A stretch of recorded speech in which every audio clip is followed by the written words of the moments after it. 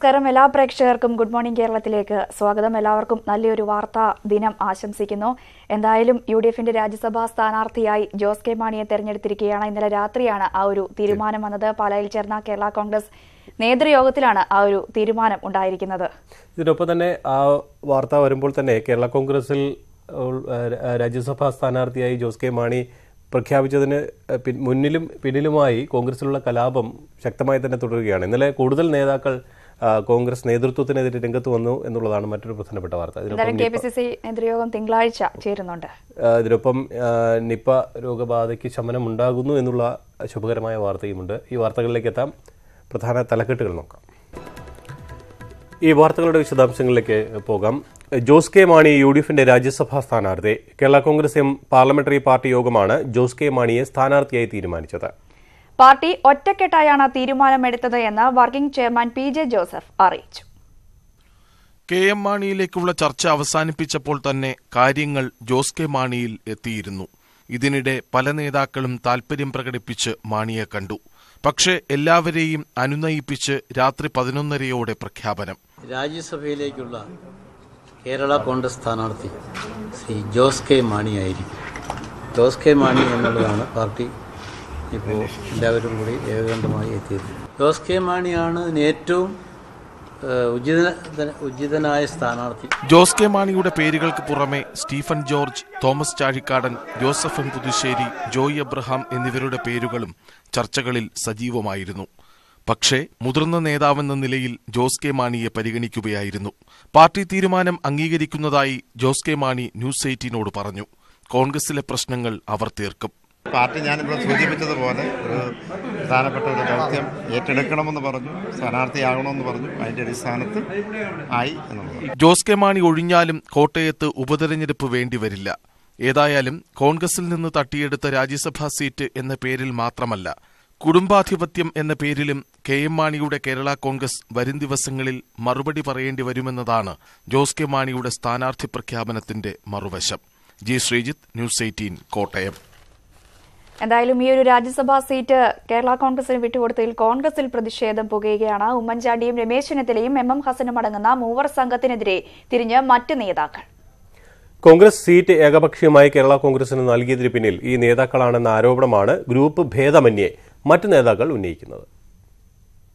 മുഖ്യപ്രതി ഉമ്മൻചാണ്ടി രണ്ടാം പ്രതി രമേശ് ചെന്നിത്തല സാക്ഷിയായി എം എം ഹസനും. കോൺഗ്രസ് പ്രവർത്തകർക്ക് മുന്നിലെ കുറ്റപത്രം ഇതാണ്. രാജ്യസഭാ സീറ്റ് വിട്ടു നൽകിയതിൽ മാത്രമല്ല എതിർപ്പ്. പാർട്ടിയെ ഇരുട്ടിൽ നിർത്തി തീരുമാനമെടുത്ത രീതിയോടുമുണ്ട് കടുത്ത അമർഷം. തീരുമാനത്തിന് തലേന്ന് മാത്രമാണ് ഏതാനും മുതിർന്ന നേതാക്കൾക്ക് സൂചന നൽകിയത്. അണികളുടെ പൊതുവികാരം തള്ളി ഈ പാപഭാരം ഏറ്റെടുക്കാൻ തൽക്കാലം മറ്റു നേതാക്കളാരും തയ്യാറല്ല. ഇത്തരമൊരു തീരുമാനം പൊടുന്നതിന് ഉണ്ടായപ്പോൾ ഒരു സ്വാഭാവികമായിട്ടുള്ള വിഷമം പ്രവർത്തകർക്ക് ഉണ്ടായതിന് സത്യമാണ്. അതിന് അവരെ അടച്ചാക്ഷേപിച്ചിട്ടോ കുറ്റം പറഞ്ഞിട്ടോ കാര്യമില്ല. രാഷ്ട്രീയകാര്യ സമിതി അംഗങ്ങളിൽ പലരും ചാനലിലൂടെയാണ് പാർട്ടി തീരുമാനം അറിഞ്ഞത്. രാഷ്ട്രീയകാര്യ സമിതി പിരിച്ചുവിടണമെന്ന് ഷാനിമോൾ ഉസ്മാൻ പറഞ്ഞത് ഈ സാഹചര്യത്തിലാണ്. ഡൽഹിയിൽ നാടകീയമായി എടുത്ത തീരുമാനത്തിനു പിന്നിൽ ലീഗിന്റെ സമ്മർദ്ദതന്ത്രം മാത്രമല്ല പാലാ ചർച്ചയിൽ തയ്യാറാക്കിയ തിരക്കഥയുണ്ടെന്നും നേതാക്കൾ വിശ്വസിക്കുന്നു. സ്വേച്ഛാധിപരമായ തീരുമാനമാണ് തീരുമാനമാണ് കേരളത്തിൽ അവർ ചെയ്തിരിക്കുന്നത് എന്നിട്ട് കേരള കോൺഗ്രസ് ഈ സീറ്റ് കൊടുത്തേലേ വരുള്ളൂ യു ഡി എഫിൽ വരുള്ളൂ എന്ന സാഹചര്യം ഉണ്ടാക്കി ഹൈക്കമാൻഡിനെ ധരിപ്പിക്കുകയോ തെറ്റിദ്ധരിപ്പിക്കുകയോ ചെയ്തു. മൂവർ സംഘത്തോടുള്ള അമർഷത്തിന് ഗ്രൂപ്പ് ഭേദമില്ല. പക്ഷേ എ ഗ്രൂപ്പിലാണ് ഇത് രൂക്ഷം. ഉമ്മൻചാണ്ടിയുടെ ഏതു തീരുമാനത്തെയും ന്യായീകരിക്കുന്ന എ ഗ്രൂപ്പിലെ മുതിർന്ന സംഘം മൗനത്തിലാണ്. ഉള്ളിലെ എതിർപ്പ് പുറത്തുവിടുന്നുമുണ്ട് ഇവർ. തിരുവഞ്ചൂരോ കെ സി ജോസഫോ ബെന്നി ബേനാനോ ഇതുവരെ ഉമ്മൻചാണ്ടിയെ ന്യായീകരിക്കാൻ തയ്യാറായിട്ടില്ല. ടി സിദ്ദിഖ് മാത്രമാണ് ആകെ രക്ഷാപ്രവർത്തനത്തിന് ഇറങ്ങിയത് ദീർഘവീക്ഷണമുള്ള തീരുമാനം മുൻനിർത്തിയാണ് ഈ തീരുമാനം നേതൃത്വം കൈക്കൊണ്ടിട്ടുള്ളത്. പതിനൊന്നാം തീയതിയിലെ കെ പി സി സി നേതൃയോഗത്തിൽ ഗ്രൂപ്പ് ഭേദമന്യേ ഉയരുമെന്നുറപ്പായ വിമർശനം മയപ്പെടുത്താനുള്ള ശ്രമത്തിലാണ് ഈ മൂവർ സംഘം. R Kiran Babu news eighteen Thiruvananthapuram. Ernakulam D C C ഓഫീസിന് മുമ്പിൽ ഉമ്മൻചാണ്ടിയുടെയും രമേശ് ചെന്നിത്തലയുടെയും ഫോട്ടോകൾ വെച്ച ശവപ്പെട്ടിയുമായി പ്രവർത്തകരുടെ പ്രതിഷേധം. ജോസ് കെ മാണിക്ക് രാജ്യസഭാ സീറ്റ് നൽകിയതിനാലാണ് പ്രവർത്തകരുടെ പ്രതിഷേധം. ഉമ്മൻചാണ്ടിക്കും രമേശ് ചെന്നിത്തലയ്ക്കുമെതിരായ പോസ്റ്ററുകളും ഇവിടെ പതിപ്പി പതിച്ചിട്ടുണ്ട്. ശ്രീനാഥ് ചേരുന്നു. ശ്രീനാഥ് കഴിഞ്ഞ രണ്ട് ദിവസങ്ങളായി കടുത്ത പ്രതിഷേധത്തിൽ തന്നെയാണ് കോൺഗ്രസ് പ്രവർത്തകർ. ഇപ്പോൾ എറണാകുളത്ത് ആ പ്രതിഷേധം മറ്റൊരു തലത്തിലേക്ക് നീങ്ങിയിരിക്കുന്നു. വിവരങ്ങൾ. ജോയി കോൺഗ്രസിന് ഏറ്റവും കൂടുതൽ കോൺഗ്രസിന്റെ സിറ്റിംഗ് സീറ്റാണ് എറണാകുളം. കോൺഗ്രസിന് കോൺഗ്രസ് പ്രവർത്തകർ ഏറ്റവും കൂടുതലുള്ള ഒരു സ്ഥലം കൂടിയാണ് എറണാകുളം. ഇവിടെയാണ് ഇന്ന് പുലർച്ചെ കോൺഗ്രസ് പ്രവർത്തകരുടെ പ്രതിഷേധം അരങ്ങേറിയിരിക്കുന്നത്. അവർ ഒരു ശവപ്പെട്ടി അതായത് ഉമ്മൻചാണ്ടിയുടെയും രമേശ് ചെന്നിത്തലയുടെയും മുഖചിത്രമുള്ള ഒരു ശവപ്പെട്ടി അവരെ അടക്കം ചെയ്തു എന്ന പ്രതീകാത്മകമായി തോന്നുന്ന രീതിയിലുള്ള ഒരു ശവപ്പെട്ടിയും രണ്ട് റീത്തും ഒരു കറുത്ത കൊടിയും ഇന്ന് ഡി സി സി ഓഫീസിന്റെ മുന്നിൽ സ്ഥാപിച്ചിരിക്കുകയാണ്. ഡി സി സി ഓഫീസിൽ കോൺഗ്രസ് പതാകയുടെ കോൺഗ്രസ് പതാകയുടെ താഴെയാണ് ഇവ സ്ഥാപിച്ചിരിക്കുന്നത്. ഇന്ന് പുലർച്ചെയാണ് ഈ ഇത് സ്ഥാപിച്ചത് എന്നാണ് നമുക്കറിയാൻ കഴിയുന്നത്. ഡി സി സിയുടെ പ്രവേശന കവാടത്തിൽ ഏതാനും പോസ്റ്ററുകളും ഇവർ പതിച്ചിട്ടുണ്ട്. ഞങ്ങൾ പ്രവർത്തകരുടെ മനസ്സിൽ നിങ്ങൾ മരിച്ചു എന്ന ഒരു പോസ്റ്റിൽ പറയുന്നു. മറ്റ് പ്രസ്ഥാനത്തെ വിറ്റിട്ട് നിങ്ങൾക്ക് എന്ത് കിട്ടി എന്ന് സേവ് കോൺഗ്രസിന്റെ പേരിലുള്ളതാണ് ഈ പോസ്റ്ററുകൾ കോൺഗ്രസ് പാർട്ടിയിലെ യൂദാസുമാർ ഉമ്മൻചാണ്ടി രമേശ് ചെന്നിത്തല തുടങ്ങിയ വാചകങ്ങളും ഈ പോസ്റ്ററുകളുണ്ട് കോൺഗ്രസ് പാർട്ടിയുടെ അഭിമാനത്തെക്കാൾ നിങ്ങൾ വില നൽകിയത് മാണിയുടെ വീട്ടിലെ കമ്മട്ടത്തിനാണോ എന്ന് എന്ന് ചോദിക്കുന്നു. പ്രവർത്തകർ രക്തസാക്ഷികളായിരിക്കുന്നു ഈ നടപടിയിലൂടെ എന്നും ഈ പോസ്റ്റിൽ പറയുന്നു. പ്രവർത്തകരുടെ തീവ്രമായ വേദനയും കടുത്ത പ്രതിഷേധവുമാണ് ഇന്ന് ഇവിടെ പ്രകടിപ്പിച്ചിരിക്കുന്നത്. കഴിഞ്ഞ ദിവസം മലപ്പുറത്തും ഇതേപോലെ കോൺഗ്രസ് പ്രവർത്തകരുടെ വലിയ പ്രതിഷേധം ഉയർന്നിരുന്നു. ഇന്നലെ ഇന്നലെ നിയമവകുപ്പ് കൈകാര്യം ചെയ്യുന്ന കോൺഗ്രസിന്റെ നിയമവിഭാഗത്തിന്റെ സംസ്ഥാന പ്രസിഡന്റ് രാജിവെച്ചിരുന്നു. സംസ്ഥാന ജനറൽ സെക്രട്ടറിയും രാജിവെച്ചിരുന്നു. അതിനുശേഷമാണ് ഇപ്പോൾ ശക്തമായ പ്രതിഷേധവുമായി പ്രവർത്തകർ ഇറങ്ങിയിരിക്കുന്നത്. ഇന്ന് ഡി സി സി ഓഫീസിന് മുന്നിൽ ശക്തമായ പ്രതിഷേധം ഉണ്ടാകുമെന്നും കോൺഗ്രസ് പ്രവർത്തകർ അറിയിച്ചിട്ടുണ്ട്. ഏതായാലും ഇപ്പോൾ വലിയ തോതിലുള്ള പ്രതിഷേധത്തിന്റെ തുടക്കമെന്ന നിലയിലാണ് ഇപ്പോൾ രണ്ട് പ്രമുഖ നേതാക്കളുടെ കേരളത്തിലെ പ്രധാ- പ്രധാനപ്പെട്ട കോൺഗ്രസ് നേതാക്കളുടെ പ്രതീകാത്മക ശവപ്പെട്ടി ഒരുക്കിക്കൊണ്ട് അവർ അവരുടെ പ്രതിഷേധം രേഖപ്പെടുത്തിയിരിക്കുന്നത്. കോൺഗ്രസിലെ തന്നെ എറണാകുളത്തെ ഏറ്റവും കെ കരുണാകരൻ കെ കരുണാകരൻ താമസിക്കുന്ന സ്ഥലമാണ് എറണാകുളം. അതേപോലെ കോൺഗ്രസിലെ എ കെ ആന്റണി ഒരു കാലത്ത് താമസിച്ചിരുന്നത് ഈ ഡി സി സി ഓഫീസിന് സമീപത്താണ്. അതുകൊണ്ട് തന്നെ ഏറ്റവും കൂടുതൽ പ്രവർത്തകരുള്ള ഒരു സ്ഥലം കൂടിയാണ് കോൺഗ്രസിനെ സംബന്ധിച്ചിടത്തോളം എറണാകുളം. എറണാകുളത്തെ പാർലമെന്റ് സീറ്റും അതേപോലെ നിയമസഭാ സീറ്റും കോൺഗ്രസിനാണ്. അതുകൊണ്ട് തന്നെ ഇവിടെ കോൺഗ്രസ് പ്രവർത്തകരുടെ പ്രതിഷേധം ശക്തമാണ്. ഈ മാണിക്ക് കെ എം മാണിക്കും അതേപോലെ ജോസ് കെ മാണിക്കും അടിയറ വെച്ചുകൊണ്ട് കോൺഗ്രസ് പ്രവർത്തകർ തീരുമാനമെടുത്തതിൽ കോൺഗ്രസ് നേതാക്കൾ തീരുമാനമെടുത്തതിൽ പ്രവർത്തകരുടെ കടുത്ത അമർഷമാണ് ഇപ്പോൾ ഈ കറുത്ത കൊടിയിലൂടെയും ശവപ്പെട്ടിയിലൂടെയും അവർ പ്രകടിപ്പിച്ചിരിക്കുന്നത്. ജോയി. വിവരങ്ങൾ നൽകിയത് കൊച്ചിയിൽ നിന്നും എൻ ശ്രീനാഥ്. എന്തായാലും കോൺഗ്രസ് പ്രവർത്തകരുടെ പ്രതിഷേധം തുടരുകയാണ്. ഉമ്മൻചാണ്ടിയെ വേദിയിലിരുത്തി കോൺഗ്രസ് നേതൃത്വത്തിന് കെ എസ് യുവിന്റെ രൂക്ഷ വിമർശനം. നേതൃത്വം എന്നാൽ പദവിയല്ല പ്രവർത്തനമാണെന്നായിരുന്നു സ്വാഗത പ്രാസംഗികന്റെ വിമർശനം. അതേസമയം രാജ്യസഭാ സീറ്റ് വിഷയത്തിൽ നേതൃത്വത്തെ വിമർശിച്ച യുവ നേതാക്കൾക്ക് തൃശൂരിൽ നടന്ന നേതൃപഠന ക്യാമ്പിൽ അഭിനന്ദനം. രാജ്യസഭാ സീറ്റ് സംബന്ധിച്ച് കോൺഗ്രസ് നേതൃത്വത്തിനെതിരെ രൂക്ഷമായ വിമർശനമാണ് തൃശൂരിലെ കെ സി ജില്ലാ നേതൃപഠന ക്യാമ്പിലും ഉയർന്നത്. നേതൃത്വമെന്നാൽ പദവിയല്ല പ്രവർത്തനമാണ്. പ്രവർത്തകർ ഉണ്ടെങ്കിലേ നേതൃത്വമുള്ളൂവെന്ന് ഉമ്മൻചാണ്ടിയെ വേദിയിലെത്തി സ്വാഗത പ്രാസംഗികനായ കെ ജില്ലാ ഉപാധ്യക്ഷൻ നിഖിൽ ജോയ് തുറന്നടിച്ചു. ചുവരുണ്ടെങ്കിലേ ചിത്രം വരയ്ക്കാനാകൂ. ഈ ക്യാമ്പിന് ഇക്കാര്യം വിളിച്ചു പറയാനാകണം. ചുവരുണ്ടെങ്കിലേ നമുക്ക് ചിത്രം വരയ്ക്കാൻ പറ്റുമെന്ന് ഈ ക്യാമ്പ് സധൈര്യം വിളിച്ചു പറയാനുള്ള ആർജവം കാണിക്കണം. എന്നാൽ നേതൃത്വത്തെ വിമർശിച്ച യുവ എം എൽ എമാരെ അഭിനന്ദിക്കാനും മറന്നില്ല. വി ടി ബൽറാമും ഷാഫി പറമ്പിലും കെ എസ് യുവിലൂടെയാണ് വളർന്നതെന്നും നിഖിൽ ജോയ് വ്യക്തമാക്കി. അതേസമയം ഘടകകക്ഷികളെയും കോൺഗ്രസിനെയും വിശ്വാസത്തിലെടുത്ത് വലിയ ലക്ഷ്യമാണ് നിറവേറ്റാൻ ഉള്ളതെന്നായിരുന്നു ഉമ്മൻചാണ്ടിയുടെ മറുപടി. ജനാധിപത്യ മതേതരത്വ ശക്തികളുടെ വിജയം ഉറപ്പിക്കുക എന്നുള്ളതാണ്. അതിന് നമുക്ക് നമ്മൾ ചെയ്യുന്ന ആ നടപടികൾ അത് ജനങ്ങളെ കൂടി വിശ്വാസത്തിലെടുത്ത് ജനങ്ങളെ ബോധ്യപ്പെടുത്തിക്കൊണ്ട് നമ്മൾ മുമ്പോട്ട് പോകും. തൃശൂരിലെ കെ എസ് യു ജില്ലാ നേതൃപഠന ക്യാമ്പിന്റെ സമാപനം ഉദ്ഘാടനം ചെയ്യാനാണ് ഉമ്മൻചാണ്ടി എത്തിയത്. ഉമ്മൻചാണ്ടിയെ വിമർശിച്ച യുവ എം എൽ എ അനിൽ അക്രയും കെ എസ് യു സംസ്ഥാന പ്രസിഡന്റ് അഭിജിത്തും ചടങ്ങിൽ പങ്കെടുത്തു. News eighteen Thrissur. Kozhikode baby memorial ആശുപത്രിയിൽ നഴ്സുമാരുടെ സമരം തുടരുന്നു. നിപ്പ രോഗികളെ പരിച- പരിചരിച്ചവരെ ഉൾപ്പെടെ പിരിച്ചുവിട്ട നടപടിക്ക് എതിരെയാണ് നഴ്സുമാരുടെ സംഘടനയായ യു എൻ എയുടെ സമരം. പിരിച്ചുവിട്ടവരെ തിരിച്ചെടുക്കും വരെ സമരം തുടരാനാണ് നഴ്സുമാരുടെ തീരുമാനം. നിപ്പ ബാധിതരെ പരിചരിച്ചവരെ ഉൾപ്പെടെ പിരിച്ചുവിട്ട മൂന്ന് നഴ്സുമാരെ തിരിച്ചെടുക്കും വരെ സമരം തുടരാനാണ് യു എൻ എയുടെ തീരുമാനം. കോഴിക്കോട് ബേബി മെമ്മോറിയൽ ആശുപത്രി അധികൃതരുമായി സംഘടനാ പ്രതിനിധികൾ നടത്തിയ ചർച്ച പരാജയപ്പെട്ട സാഹചര്യത്തിലാണ് സമരം ശക്തമാക്കിയിരിക്കുന്നത്. നഴ്സുമാർ ആശുപത്രിക്ക് മുമ്പിൽ കുത്തിയിരിപ്പ് സമരം തുടരുകയാണ്. മാനേജ്മെന്റ് സൈഡിൽ നിന്ന് കുറച്ച് ക്രൈസിസ് ആണ്. നമുക്ക് ഇപ്പോൾ ഈ മാസം സാലറി കൂട്ടി കൂട്ടിത്തരാൻ പറ്റില്ല എന്ന് പറഞ്ഞപ്പോൾ നമ്മൾ ഒരു പ്രശ്നം ഉണ്ടാക്കിയിട്ടില്ല.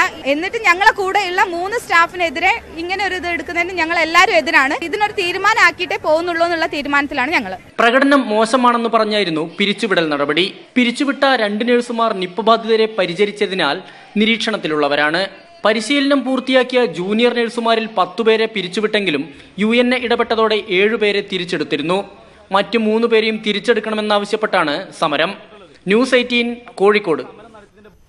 അതേസമയം നിപ വൈറസ് ബാധയെ തുടർന്ന് കോഴിക്കോട് ജില്ലയിൽ ഏർപ്പെടുത്തിയ നിയന്ത്രണങ്ങൾ പന്ത്രണ്ടാം തീയതി അവസാനിക്കും. നിലവിലെ സാഹചര്യത്തിൽ വിദ്യാഭ്യാസ സ്ഥാപനങ്ങളും പന്ത്രണ്ടിന് തന്നെ തുറക്കും.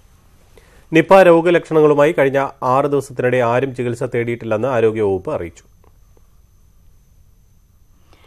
കരിമ്പനി റിപ്പോർട്ട് ചെയ്ത കുളത്തൂപ്പുഴ വില്ലുമല കോളനിയിൽ ഇന്ന് കേന്ദ്ര സംഘം സന്ദർശനം നടത്തും. ഡൽഹിയിലെ നാഷണൽ സെന്റർ ഫോർ ഡിസീസ് കൺട്രോളിൽ നിന്നുള്ള മൂന്നംഗ സംഘമാണ് സന്ദർശനം നടത്തുന്നത്. N C D C joint director doctor T G തോമസിന്റെ നേതൃത്വത്തിലാണ് വിദഗ്ധ സംഘം എത്തുന്നത്. കരിമ്പനി രോഗവാഹകരായ മണലീച്ചയുടെ സാമ്പിളുകൾ കേന്ദ്ര സംഘം ശേഖരിച്ച് പഠനം നടത്തും. ആർ കെ മുപ്പത്തിയൊൻപത് കിറ്റ് ഉപയോഗിച്ചുള്ള രോഗനിർണയ ക്യാമ്പും ഇന്ന് നടത്തും. അതേസമയം യുവാവിന് കരിമ്പനി സ്ഥിരീകരിച്ച വില്യമല കോളനിയിൽ നടത്തിയ ആരോഗ്യ ക്യാമ്പിൽ മറ്റൊരാളിലും രോഗലക്ഷണങ്ങൾ കണ്ടെത്തിയിട്ടില്ല. ഇനി ലോക വാർത്തകൾ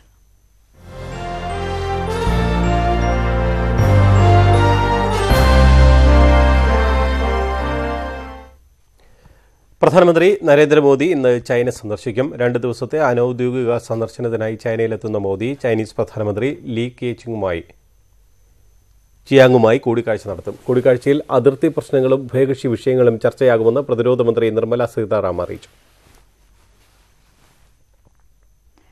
സംസ്ഥാനത്ത് ഇന്ധനവില വീണ്ടും കുറഞ്ഞു. പെട്രോളിന് നാൽപ്പത്തിയൊന്ന് പൈസയും ഡീസലിന് മുപ്പത്തിയൊന്ന് പൈസയുമാണ് കുറഞ്ഞത്. ഇതോടെ തലസ്ഥാനത്ത് പെട്രോളിന് എൺപത് രൂപ പതിനാല് പൈസയും ഡീസലിന് എഴുപത്തിമൂന്ന് രൂപ ഒൻപത് രൂപ ഒൻപത് പൈസയുമായി.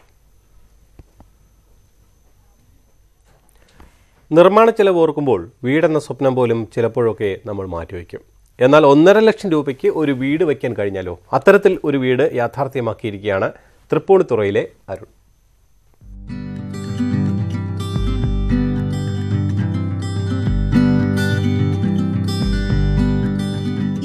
അരുൺ തഥാഗതിന്റെ തൃപ്പൂണിത്തുറ അമ്പലമേട്ടിലെ വീട്.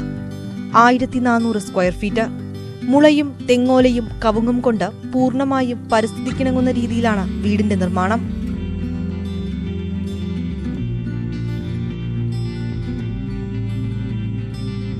അന്തരീക്ഷത്തിൽ ഹ്യൂമിഡിറ്റി ആർദ്രത കുറവായതിനാലും നന്നായി നാച്ചുറൽ ട്രീറ്റിംഗ് ആണ്. ഒരു മാസം വെയിലത്ത് വെച്ച് ഉണക്കിയെടുത്തിരിക്കുന്നത്. അതിൽ മുഴുവൻ ജലാംശവും നഷ്ടപ്പെടുത്തിയാണ് കൊണ്ടുവന്നിരിക്കുന്നത്. യാതൊരുവിധ നാച്ചുറൽ അല്ലാത്ത ഒരു മെത്തേഡുകളും ഉപയോഗിച്ചിട്ടില്ല. തമിഴ്നാട്ടിൽ നിന്നാണ് മുളയും കവുങ്ങും എത്തിച്ചത്. വീടിന് ചുറ്റുമുള്ള പരിസ്ഥിതി അതുപോലെ നിലനിർത്തി. തമിഴ്നാട്ടിലെ ചെറിയ ഓലപ്പുരകളാണ് ഇത്തരത്തിലുള്ളൊരു ആശയത്തിലേക്ക് എത്തിച്ചതെന്ന അരുൺ. ഈ വീട് നിർമ്മിക്കാനായിട്ട് ഞാനത് തമിഴ്നാട്ടിലൊരു ചെറിയൊരു കുടിൽ കണ്ട് എന്തുകൊണ്ട് ഈ കൺസെപ്റ്റ് ഇവിടെ ആയിക്കൂടാ എന്ന് ചിന്തിക്കുകയും അതിന്റെ വില നോക്കി അത് എത്ര രൂപയ്ക്ക് ഈ മെറ്റീരിയൽ എത്തിക്കാമെന്ന് അന്വേഷിച്ച് അത് നിർമ്മിച്ച വിദഗ്ധ തൊഴിലാളികളെ കണ്ടെത്തി അവരുമായി ആ സാധനങ്ങളെല്ലാം കൊണ്ടുവന്ന് ഈ വീട് നിർമ്മിക്കാൻ ആയിരത്തി നാനൂറ് സ്ക്വയർ ഫീറ്റിലേറെയുള്ള ഈ വീട് നിർമ്മിക്കാൻ ആറ് ദിവസമാണ് സത്യത്തിൽ എടുത്തത്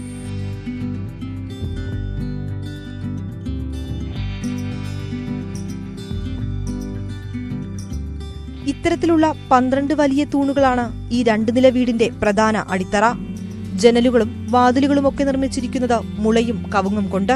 വീട് നിർമ്മാണത്തിനായി ലക്ഷങ്ങൾ മുടക്കുന്ന നമ്മുടെ നാട്ടിലാണ് വെറും ഏഴ് ദിവസം കൊണ്ട് അതും ചെറിയൊരു തുക കൊണ്ട് ഈ മനോഹരമായ വീട് അരുൺ തടാകത്ത് നിർമ്മിച്ചിരിക്കുന്നത്. പരിസ്ഥിതിയോട് ഇണങ്ങി നിൽക്കുന്ന ഈ വീടിന്റെ നിർമ്മാണ പ്രവർത്തനങ്ങളെല്ലാം തന്നെ പരിസ്ഥിതിയിൽ നിന്നും ലഭിക്കുന്ന വസ്തുക്കൾ കൊണ്ട് തന്നെയാണ്. Cameraman ശ്രീജിത്തിനോടൊപ്പം Vineetha V G news eighteen Kochi.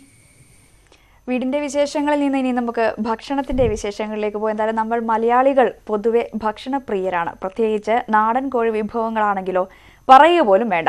അത്തരത്തിൽ നാടൻ കോഴി പിരട്ടുകൊണ്ട് പേരുകേട്ട തിരുവനന്തപുരത്തെ കടച്ചൽക്കുടിയിലെ വിശേഷങ്ങളിലേക്ക് പോകാം.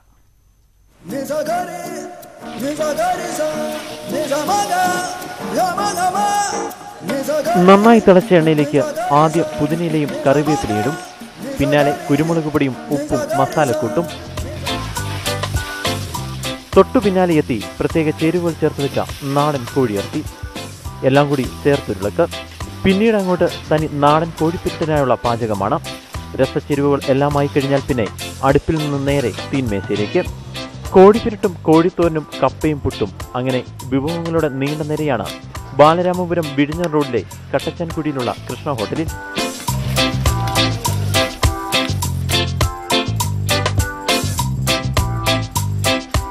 നാടൻ കോഴിയുടെ ഇറച്ചിയും തനത് സ്പെഷ്യൽ മസാലക്കൂട്ടും തന്നെയാണ് കട്ടച്ചൻകുടിയിലെ കോഴിപ്പിരട്ടിന്റെ സ്പെഷ്യൽ എന്ന് ഹോട്ടൽ ഉടമ ഷാജു പറയുന്നു.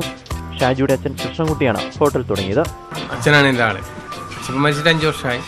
വെറൈറ്റി ചിക്കൻ പരട്ട് ചിക്കൻ തോരൻ പുട്ട് കപ്പ മറോട്ട ദോശ. മുളകും എല്ലാം പൊടിച്ച് വാങ്ങിച്ച് പൊടിച്ച് റെഡിയാക്കി എടുക്കും എല്ലാം നാടൻ സാധനം. പരമ്പരാഗത രീതിയിൽ വാഴയിലാണ് ഇവിടെ ഭക്ഷണ സാധനങ്ങൾ വിളമ്പുന്നത്. കോഴിപ്പിരട്ടും കോഴിത്തോരനും അടങ്ങുന്ന വിഭവങ്ങൾക്കാകട്ടെ പ്ലേറ്റ് കണക്കിനല്ല കിലോ കണക്കിനാണ് നൽകുന്നത്. കിലോയ്ക്ക് നാനൂറ്റി അറുപത് രൂപയാണ് നിരക്ക്. പ്ലേറ്റിൽ സാധാരണഗതി ഇരുന്നൂറ്റി അൻപത് ഗ്രാമാണ് ഉണ്ടാവുക. ഇവിടുത്തെ രുചികളെക്കുറിച്ച് കേട്ടറിഞ്ഞ് നഗരത്തിന്റെ വിവിധ ഭാഗങ്ങളിൽ നിന്ന് പോലും ദിവസേന ഭക്ഷണപ്രിയരെത്തുന്നു. കഴിക്കുന്നവർക്കും കോഴിപ്പിരട്ടിനെ പറ്റി നൂറ് നാവ്. എനിക്ക് കൂടുതൽ ചിക്കൻ ഇഷ്ടമല്ല. ഞാൻ കഴിക്കാറുമില്ല. നാലഞ്ച് വർഷമായി.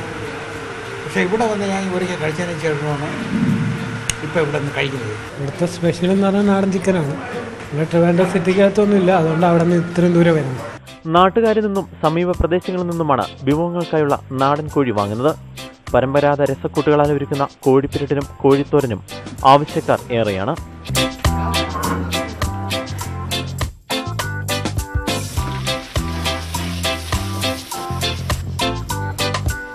പുറത്ത് നല്ല മഴ തകർത്ത് പെയ്തുകൊണ്ടിരിക്കുകയാണ്.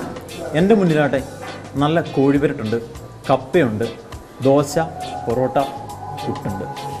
ഏതായാലും ഈ കോഴി പുരട്ടൊന്ന് ടേസ്റ്റ് ചെയ്യട്ടെ. അടിപൊളി. ഗംഭീര ടേസ്റ്റാണോ നടൻ കോട്ടയം പ്രദീപ് പറയുന്ന പോലെ കലക്കി തീർത്തു കിടുക്കി. ക്യാമറമാൻ മനുവിനോടൊപ്പം മനു വർഗീസ് ന്യൂസ് എയ്റ്റീൻ തിരുവനന്തപുരം.